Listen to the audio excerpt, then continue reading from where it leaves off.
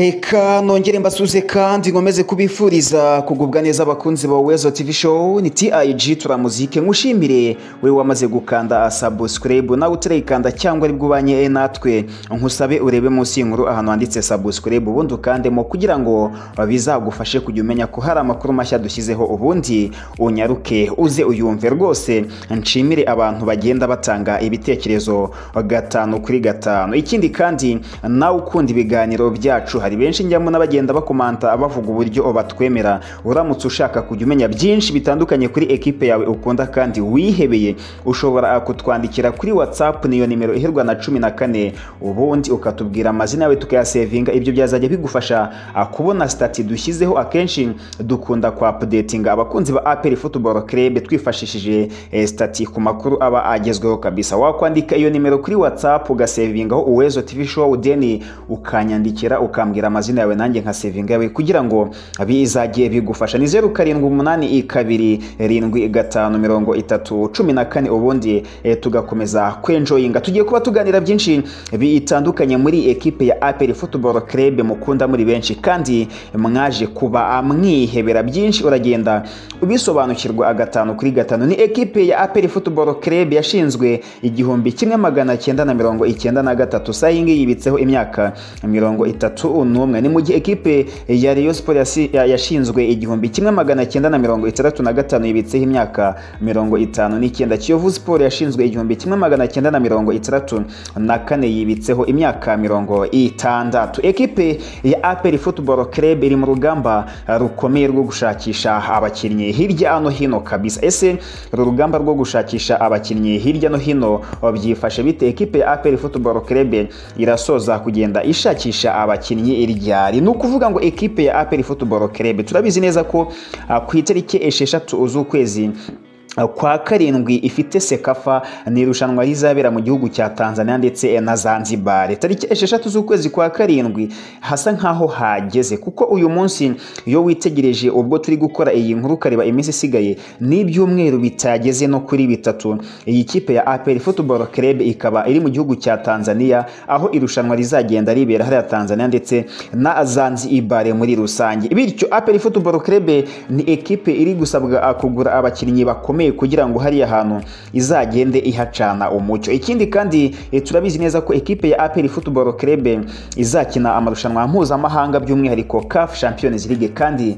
izaca mu majonjora. CAF yagiye itangaza ko hagati ya tariki cumi n'esheshatu na cumi n'umunani amajonjora azatangira gukinwa hagati ya CAF Champions League ndetse na CAF Confederation Cup. Bityo kuba ama ekipe agomba kugenda yitegura ni bimwe mu bintu biri kugenda bituma ekipe ya APR Football Club ikora iyo bwabaga kugira ngo ishakishe uburyo igura abakinnyi. Icyo nakubwira cyo ni uko isoko ryo kugura abakinnyi hano mu gihugu cy'u Rwanda APR Football Club mpamya ko yamaze kuba ishyiraho akadomo kubera ko yasinyishije uwitwa Nshimiyimana Yunus n'uwitwa Nigena Kirema. Amasezerano y'imyaka ibiri nyuma y'uko kontara zabo zari zarangiye igura uwitwa Tuyisenge Arsene Tuguma igura uwitwa Dushimimana Olivier igura uwitwa Mugiraneza Frodoir iza, izana umukinnyi witwa Byiringiro Gilbert imukuye muri Marine Football Club. Bityo ekipe ya APR Football Club mpamya ko nta mukinnyi wundi w'umunyarwanda izongera kuba yongera muri iswadi yayo kabisa. Sasa ngiye turibaza duti ese ku bijyanye no kugura abandi bakinnyi byifashe bite? Hari uwitwa Lorenzo Munsangafura ngira ngo muramuzi akora kuri RBA ni umwe mu banyamakuru bakomeye cyane mu bijyanye n'amakuru y'imikino. Yagize gutya aganira n'uwitwa Colonel Richard Karasira. Uyu ni chairman wa ekipe ya APR Football Club. Agira ubwino amuhereza agira ubwino amuhereza rwose ku bijyanye n'abakinnyi mu kanya gato ngiye kuba ngenda mbahereza ubwo bwino ariko mbanze mbakubite inkuru nziza cyane iri update kabisa. Ekipe ya Simba na ekipe ya Yanga namwe mu ma ekipe akomeye cyane mu gihugu cya Tanzania ari kugenda yifuza kuba yakina na ekipe ya APR Football Club. Simba irifuza ko ekipe ya APR yanyarukira mu gihugu cya Tanzania zigatera umukino. Ubwo hazaba hari umunsi witwa Simba Day mu gihe ekipe ya Yanga yanga yo yifuza gucakirana na ekipe ya APR Football Club hariya kuri stade Amahoro. Mu mikino ya gishuti kabisa urumva ko ni ibintu byiza cyane n'indi ntambwe burya niba ekipe nka Simba ishobora kugusaba ko mwakina ekipe ya Yanga ikagusaba ko mwakina ni ibintu byiza cyane. Ni urundi rwego ekipe ya APR Football Club biri kugenda itera. Kandi koko iyo witegereje muri aka karere ka East Africa yego iyo bavuze Simba turakangarana Yanga turakangarana ariko nyuma y'ayo makipe giye mpamya ko ekipe ya APR na yo iri kugenda igaragaza urundi rwego. Dore ko no mu gihe cyashize ubundi wasangaga ekipe ya Simba na Yanga zifata nka ekipe ya APR Football Club nka ekipe ikomeye. Ariko muri iki gihe ubona ko zisa nkaho zayigaranzuye. Ariko APR Football Club na yo ifite ubushake bwo kongera gukora cyane ishakisha abanyamahanga kugira ngo byibuza na yo ize kuba iryana bibiri na makumyabiri na kane bibiri na makumyabiri na gatanu. Bumwe mu bwino uwitwa Lorenzo yaje kuba atanga cyangwa se bimwe mu byo yagiye aganira na Colonel Richard Karasira chairman ekipe ya APR Football Club. Turabizi neza ko ekipe ya APR Football Club ifite abakinnyi benshi pe ifite bamwe mu banyamahanga witwa Apamu Pichu Dani witwa Victor Mboma ifite Pavenzira ifite Tadio Ruwanga ifite Surey Sanda n'uwitwa Shaibubu ariko Shaibubu we bisa nkaho biri kugenda birangira ashobora kuba agiye kwerekeza mu gihugu cya Libya. Noneho uyu chairman Colonel Richard Karasira yatangaje ko ekipe ya APR Football Club igomba gusinyisha abakinnyi bari hagati ya batanu ndetse n'abakinnyi barindwi kandi b'abanyamahanga. Tukibaza duti ese niba atangaza ko azasinyisha abakinnyi bari hagati ya batanu ndetse na barindwi b'abanyamahanga abo bakinnyi bazaza biyongere kuri aba bakinnyi bandi b'abanyamahanga ekipe ya APR Football Club isanzwe ikoresha? Iki kibazo Lorenzo yagize amatsiko aramubaza aramubaza ati ese muri kubiteganya mute? Witwa Colonel Richard Karasira yatangaje ko batakinisha abanyamahanga bangana na mirongo itanu ku ijana n'abanyarwanda bangana na mirongo itanu ku ijana ahubwo atangaza ko abanyarwanda baba ari benshi pari raporo y'abanyamahanga. Ibyo ngibyo byahise bica amarenga byahise bica amarenga bigaragaza ko hari bamwe mu bakinnyi bakina ekipe ya APR ya Football Club b'abanyamahanga bashobora kuba bagenda amwe mu makuru ugiye nkura ishyorongi mu bidaruwindi byanjye binini kabisa ngenda mbashakira ubwino. Hari amakuru avuga ko mu banyamahanga ekipe ya APR Football Club ifite. Nta gihindutse. Nta gihindutse. Uwitwa Pavenzira n'uwitwa Victor Mboma bakaba ari bo bakinnyi bashobora kuzakomezanya na ekipe ya APR Football Club bibiri na makumyabiri na kane bibiri na makumyabiri na gatanu. Uwitwa Shaibubu agiye kwerekeza muri Libya bidahindutse. Uwitwa Apamu Asongwe tukibaza ngo uyu mukinnyi Apamu Asongwe ko akina kuri cumi na rimwe. Hari uwitwa Mugisha Gilbert asanzwe akina kuri cumi na rimwe ongeraho Tuyisenge Arsene Tuguma. Tukibaza ngo ese uyu Apamu niba akina kuri cumi na rimwe. Bikaba bivugwa ko APR Football Club iri gushakisha undi mukinnyi uzabuca hariya kuri cumi na rimwe. Kandi Mugisha Gilbert yari asanzwe amwicaza. Uyu apamu hari ubwo yaguma muri ekipe ya APR Football Club ashingiye kuki tujye ku witwa Pichu. Pichu akinara kuri gatandatu. Turabizi ko ekipe ya APR Football Club yamaze gusinyisha uwitwa Mugiraneza Frodowari muramuzi Frodowari ni umukinnyi wakiniraga ekipe ya Kiyovu Sport umukinnyi ukina neza cyane hariya kuri gatandatu. Mwarabibonye APR ikina na ekipe ya Rayon Sport. Ubwo twari turi kuri stade Amahoro murabyibuka vuba cyane mu minsi ishize hari ku itariki cumi n'eshanu z'uku kwezi.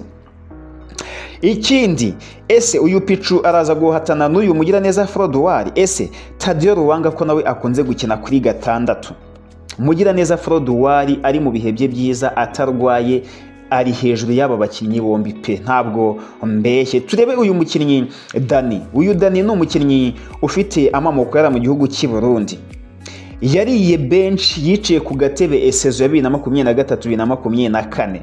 Saa iyi ngiyi APR Football Club igiye kugura abandi bakinnyi bakomeye bari ku rwego rukomeye cyane. Araguma muri APR Football Club ashingiye kuki reka turebe uwitwa Surey Sanda.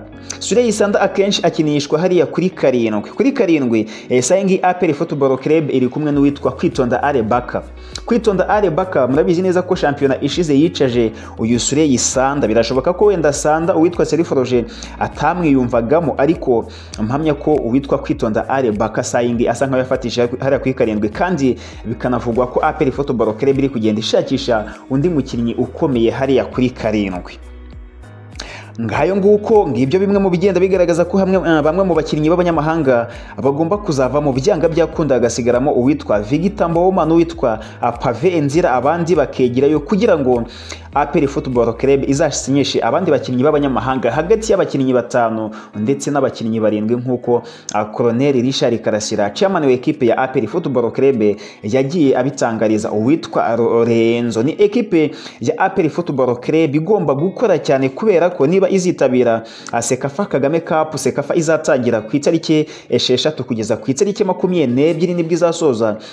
Z'ukwezi kwa karindwi APR Football Club izaba ishakisha uburyo yahagarira igihugu cy'u Rwanda kugira ngo ishakishe uburyo yatwara Sekafa yaba ari iya kane yaba ari amwe mu mateka byayifasha kugenda izamura izina ryayo kuko APR Football Club muri iyi minsi iri kugenda ihura na zimwe mu mbogamizi zo gushakisha abakinnyi. Ariko abakinnyi bakwitegereza profile ekipe ya APR Football Club bakabura amateka cyangwa ibigwi bya ekipe. Bityo kuba yagenda yitwara neza bishobora kuba byayifasha. Mpamya ko n'aya ma ekipe yo muri Tanzania ari kwifuza gukina na ekipe ya APR Football Club. Byanga byakunda ni rino rushanwa rya Mapinduzi Cup. Ekipe ya APR Football Club yagiyemo ikitwara neza ikagarukira muri kimwe cya kabiri. Biriya mbona ko byahise bigaragariza Simba ndetse na Yanga ko APR ari ekipe ikomeye. Yabagaragarije ko uko bayitekerezaga atari imeze kugeza ubwo bari kwifuza gukina na ekipe ya APR bityo iyi ekipe ndumva kwitwara neza byazagenda biyifasha cyane na yo ikagenda ihatana n'andi ma ekipe aba akomeye muri East Africa ndetse no muri Afurika nzima muri rusange. So turakomeza tugende dutohoza byinshi. Ni Sekafa Kagame Cup yigijwe imbere kubera ko hari amarushanwa ya CAF Champions League na CAF Confederation Cup ateganyijwe mu kwezi kwa munani bityo Sekafa yigijwe imbere mu gihe Sekafa y'ibihugu yo izaba nyuma ya Sekafa ya makerebe ni byinshi tuzakomeza kugenda tubagezaho gatanu kuri gatanu icyo usabwa nta kindi uretse kujya ubana na Uwezo TV show umunsi ku wundi kandi niba wifuza gukerera icyo bita friendship hagati yacu cyangwa se kujya ukurikirana stati zo kuri WhatsApp akenshi turabapudetinga by'umwihariko nk'abafana ba ekipe ya APR Football Club uratwandikira kuri iyo nimero kuri WhatsApp nk'uko natangiye mbivuga usevinge Uwezo TV show cyangwa TIG turamuziki ubundi unyandikiye kuri WhatsApp umbwire ngo witwa kanaka sevinge nimero yawe. Ubundi e, tujye tugenda twibanira gatanu kuri gatanu. Ndabakunda cyane hano Uwezo TV show usangiza abagenzi bawe ibyiza bica kuri Uwezo TV show.